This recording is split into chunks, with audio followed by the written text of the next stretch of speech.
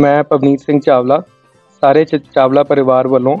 Dashmesh cold storage grand group of industries ਦੇ ਵੱਲੋਂ ਸਾਰਿਆਂ ਨੂੰ ਦੀਵਾਲੀ ਦੀ, ਅਹ, ਵਿਸ਼ਕਰਮਾ ਦੀ ਤੇ ਬੰਦੀ ਛੋੜ ਦਿਵਸ ਜੀ ਦੀ ਬਹੁਤ ਬਹੁਤ ਮੁਬਾਰਕਾਂ।